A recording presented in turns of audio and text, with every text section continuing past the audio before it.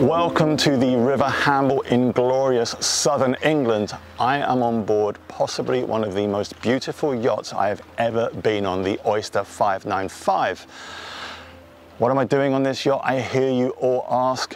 Well, as you know, we are moving to Ruby Rose 2 and she is in build in Vietnam at the moment. However, we get so many questions about monohulls and what should I be looking for in a monohull? What's on the market at the moment? So what we're doing is a small series on what is available on the market, different types of monohull and showing you the pros and the cons to each. And we're gonna do, for instance, deck saloons, a performance cruiser, a performance boat, a cruising boat, uber luxurious boats, classic designs, and by comparing and contrasting, you can think, actually that works for me, that doesn't work for me. Hopefully this will give you some insight into the process that we went through when we were trying to decide what to buy. Now, obviously boats like this are super luxurious and they have the price tag to match. So this is not gonna be for everybody, but who doesn't like seeing the nice interior of a luxury yacht? I personally obviously do. So we're gonna kick this off with the Oyster 595, which of course I am stood on already. Let's get going.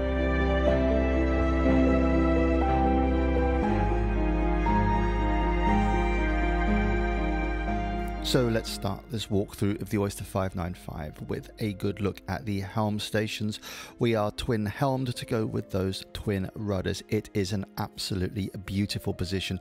There is really clear visibility here and as you can see everything both on port and starboard is fully automated. There is a lot to see, carbon wheels, a full navigation suite and honestly I think that if you wanted to do long passages as we have done, long ocean passages, you are not not going to get tired working from this helm station. Lots of visibility and pretty secure. So as we move around to actually take a look at what is involved in controlling this boat, it is pretty high tech here. Let us start fully automated sail control. So you've got the main, the Genoa, the outhaul, you also have full monitoring of all the boat systems, the autopilot controls as you would expect, but also a bow thruster and a stern thruster electronic Volvo engine controls there, so you have fingertip control over the engine, and this is all replicated on the starboard side with some changes, but again, there is nothing that you can't control from here. Now, forward of the helms, you have an amazing, a beautiful cockpit. Now, obviously, as this is Oyster, all the fabric options are bespoke, but it is separated from the helm, and this really is a beautiful area, either to relax or for the off watch to kind of like sit and take in the view while sailing. As the 595 is a center cockpit, you do have this large wide deck area aft of the helm stations, a captive main sheet system so you don't have a cluttered aft deck, lots of locker space, and as you can see, you have the flush mounted hatches and oodles and oodles of teak Moving further aft, you have the optional integrated drop down bathing platform. This thing is beautiful. And again, for relaxing, for kind of retrieving or getting on and off of your dinghy, this is a pretty amazing space. Side decks wide and clear, large winches. You know, this is a powerful boat and needs deck hardware to boot. Everything electric, and again, you've got the manual foot controls for the winches here. If we take a move down the side deck, again, we've got wide clear decks. You can see that you have flush cleats, those pop-up cleats, which are beautiful and practical and no toe stubbing there. Again, deck hardware, you can see this is all absolutely top quality. Large Genoa tracks and those signature black wraparound windows, which means that you can spot an oyster from a long way away. Now let's take a look at some statistics on the Oyster 595. Now this is this boat can be specified with different keel configurations. So you have a standard keel, or you can have a shoal keel, or even a lifting keel. The length is 19 meters, that's 62 feet. The length of the hull, 18 meters. So the length of the waterline, almost 17 meters, and that is a five and a half meter beam. And this should easily translate to a hull speed which allows double digit cruising speeds to be achieved pretty easily. The bowsprit, the windlass capstan, and then aft of that you have a chain locker. But then you have this huge, absolutely huge sail locker. So again, we've got a kedge anchor in here. This would make a really good sail locker and also a place to hold lines and sheets, fenders, and anything else that may need to be stowed while underway. Now let's look at the rig on this boat. She is huge and no surprises here. You are not going to get this through the ICW. You are looking at almost 28 meters of rig and that gives you 180 square meters of sail area. You also won't be too surprised to see a fully hydraulic set of sail controls and of course on a boat of this size you are looking at in-mast reefing for that finger trip control. So again everything automated, everything with manual backups. This is going to be a pretty easy boat to sail short-handed. Now to complement the miles of teak work. We have flush mounted hatches. This is a real bugbear of mine. But my own bias aside, let me regale you with some statistics. We have fuel tanks. We have 1,420 litres. That's 312 gallons of diesel and 1,100 or 250 gallons of water. So again, you are not going to go without fuel and you've got a huge range here. And as we finish off our tour of the exterior of the Oyster 595, take a fly past this beautiful cockpit table and then down the deep and wide companionway steps to have a really good look at the interior of this absolutely stunning boat.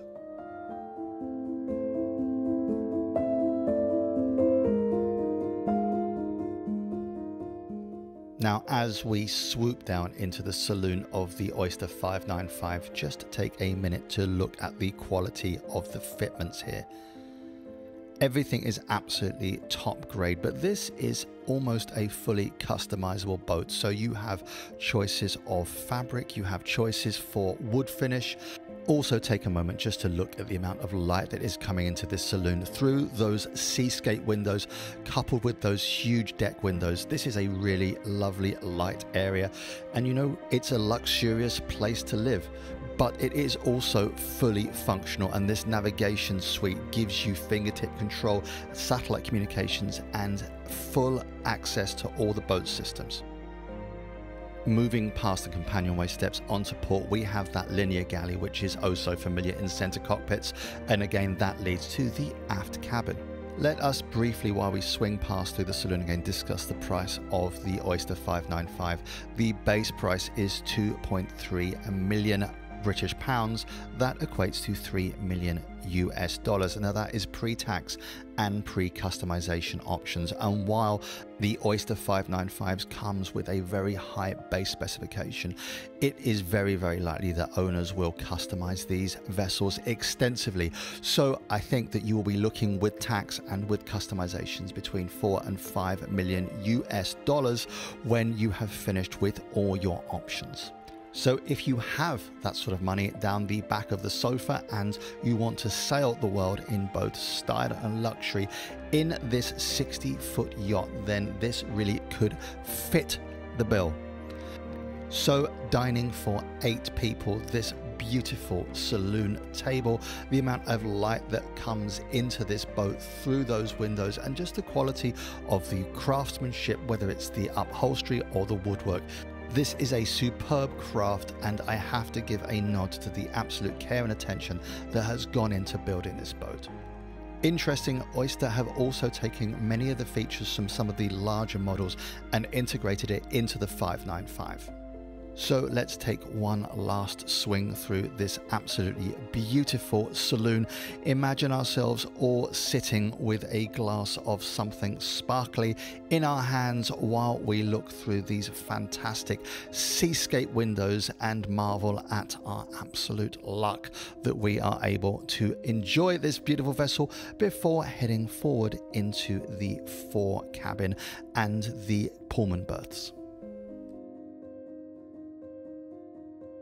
So, as we glide gently forward past the compression post, past the Pullman berths on port, and the heads on starboard, we can see that we are entering the fore cabin. And I hesitate to call it a fore cabin because really it should just be labeled the presidential suite because it is an absolute paragon of beauty and excellence here. An absolutely stunning place, and there is so much natural light coming in through those double hatches in the roof. Again, absolutely beautiful. Consider that you can make this absolutely bespoke any fabric options that you choose to have and again the woodwork is beautifully customizable so a really really beautiful bed here a lot of space and again it is an island berth so no issues in moving around there but you wouldn't expect that from a 60 foot vessel again, as we just look at the joinery, and you know that Teresa and I are absolute joinery nuts here, it is all of the absolute top quality. When they start lining up wood grain so that everything matches and you get patterns that are continuous through different cabinets, you can tell that there are craftsmen at work here.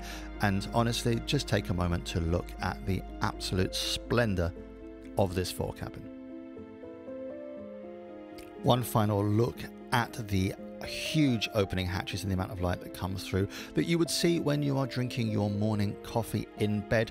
And we can continue our journey aft. Let us start with what we could consider to be the guest heads. So, again, a bright and airy space. We have a full size shower stall, electric flushing heads. Obviously, you're not going to get a manual Jabsco in this beer moth and I am sure that you can appreciate, as with every other aspect of this boat that we have seen, everything here is of absolutely the highest quality. Now, leaving the shower stall, we are going to move across the hallway to the Pullman berths. Now, again, everything here is absolutely fantastic quality. In other vessels, I have previously found Pullman berths to be slightly dark and oppressive. No such problem here. Everything here is light and spacious. There is ample storage for your gear. And again, I think that if you were crew, and sometimes we have found that uh, monohull sailors and friends of ours that have Pullman berths actually choose to use them when there is inclement weather as they are more secure. So again, a really lovely and useful space on this Oyster 595. Now, let me just take a quick pause to make some shameless advertising for our own channel. Coming up in this review series, we've got the Rustler 44, the Swan 48, we've got Moody Deck Saloons, we've got Hallberg-Rassys, and many, many other boats we would love to show you. So please feel free to subscribe. And that's my advertising over. Back to the saloon. Now, as we move aft, you can see that this saloon is punctuated by these beautiful companionway steps. I actually don't think I've ever seen a set of companionway steps as pretty as these. However, we're not talking about steps here. We are looking aft and moving down through that corridor on the port side to take in the galley. Now, I am a big fan of linear galleys in monohulls. They allow you to brace yourself in the seaway and give you a really good place to prepare meals if you're in a seaway or whether you're at anchor. And this Oyster 595 is no exception. It is absolutely beautiful. Everything is bespoke from double sinks. We have dishwashers here. We have a top of the range hob and oven. It is going to be a really nice place to cook, but it's also superbly practical from waste chutes and fridges, fridge freezers, coffee machines, microwave, extractor fans. There is nothing in this galley that a modern domestic kitchen does not have. So, again, an absolutely beautiful space. And one thing, even with this galley, it is really light and airy. Linear galleys in center cockpits can be dark. There's no such problem here. It is just a beautiful light boat. And that is actually not an easy thing to achieve. Now, lighting aside, we will move past this full size double fridge freezer and head forward into the master cabin. And again, we've got a treat for you here because I think, I don't think I've seen a nicer master cabin ever. Moving aft, we can see we have I don't really think this cabin needs that much explanation. It is just stunning. It is absolutely beautiful. And honestly, I, yeah, what can I say? It's light, it's airy, it's got those seascape windows. The joinery is bespoke and beautiful. The bed is huge. Nothing I don't like about this, and of course, you have an associated ensuite heads here.